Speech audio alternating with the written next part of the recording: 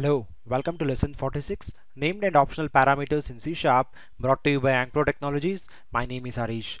In this session we're going to learn what is named parameter and optional parameter. Right now we'll jump into the slide where it is explained clearly. Named and optional parameters are really two distinct features in C Sharp.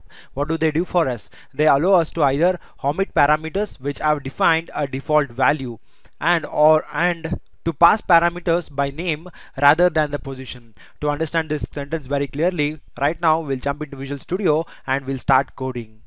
And also we'll look into what is named and optional parameter explicitly. Here I'm having a program. It's a console template already ready. What do, what do I do in this program is I'll just uh, create a method uh, called currency public and it takes it return type is double and the method name is currency what do this method do is this method will take parameters of uh, double itself. Double um, variable name is amount and another variable another uh, variable called rate and its return type is also double. Now what do this method should return? It should return amount into rate that is product of amount and rate okay. Now what do I do? How do I call this method in the main method? It's very simple. I have to come here. I have to call this method name. Sorry. Okay I have to make my method static first. Once it is done what is my next job? I have to call this method. Currency. And I have to pass parameters. It takes two parameters of uh, return type double. One is amount. I will pass it as 500 and the rate uh, I'll pass it as 1.18 and this is ready. Now to make it simple I'll assign this method to some variable defined. Okay? It's easy to call that method in the console.write line. Just I'll call s now. Now when I run this program it should obviously print the product of uh, rate. Second. It's having some errors. Oh, it built it properly. Okay fine. Press 590 okay.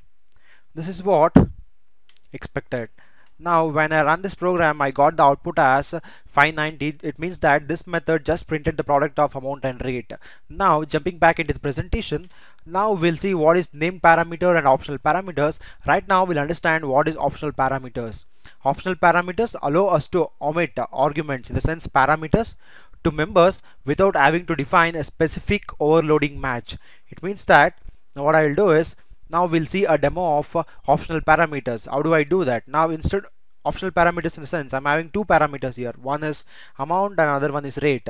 Now in the calling method I can pass any one of them. How do I do that? It's very simple. Before you have to initialize value to any one of them. For example I'm initializing a value to rate here. I'll initialize it to 1 now when I initialize it to 1 then here in the calling method there is no necessity of uh, again passing value to the uh, parameter rate. Now when I build this program it builds successfully. And now when I run this program you can observe it successfully prints the product of both amount and double amount and rate. It means that if you are going with the optional parameters the thing is you have to initialize the value of the parameter in the method itself. And in the calling and in the calling method there is no necessity of passing the parameter again. This is what the optional parameter it means we are passing the parameter in the optional way. Whichever parameter you are already defined in the main method that parameter there is no necessity of calling again in the main in the calling method. That's what about the optional parameter. And right now we'll jump into the presentation. And named parameters are passed by name instead of relying on its position in the parameter list. Now what do I do? Now I'll come back here. I'll just erase these parts. And I'll pass values like uh, 1.18 now this method should uh, work fine. Why? Because this, this, currency method is taking two parameters. One is amount and the rate. And in the calling method I'm passing the values in the same order in the sense for the final is for the amount and the rate is for 1.18 is for the rate. Now if I interchange the values what should happen? Okay? That's not uh, for the rate what I'll do is for the amount I'll take it as integer type okay. Now if it is an integer type now what do I do is um, since in the normal calling method what we'll do is we'll pass the values in this order only. That is first amount we'll pass then the rate. For example I'll pass 500 and the rate is 1.18 sorry uh, and the rate is 1.18 and now, now when I run this program obviously it has to provide the output on the console screen as expected. But uh, if I pass the value in this order like first I'll pass the rate then then I'll pass the amount. Is this program go going to work? Now now when I run this program it, it is having some errors telling that it printed but it is having errors telling that cannot convert double to int.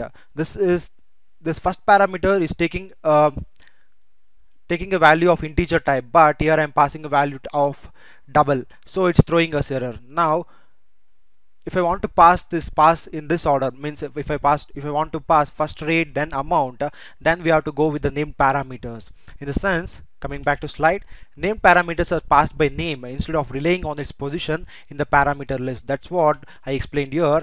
Instead now now the user wants wants to pass first the rate then the amount. Now that can be done using the named parameters.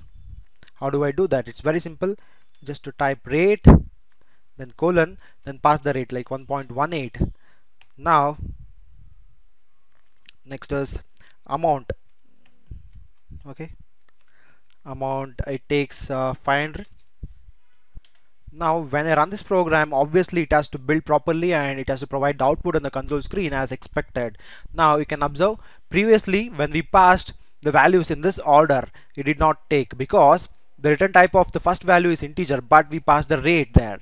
Now here explicitly we are passing the rate uh, by making use of, of uh, name parameters. This is what the advantage of name parameters as we saw in this program. Okay? And thank you for listening. Have a great day. Please subscribe to Ankpro training below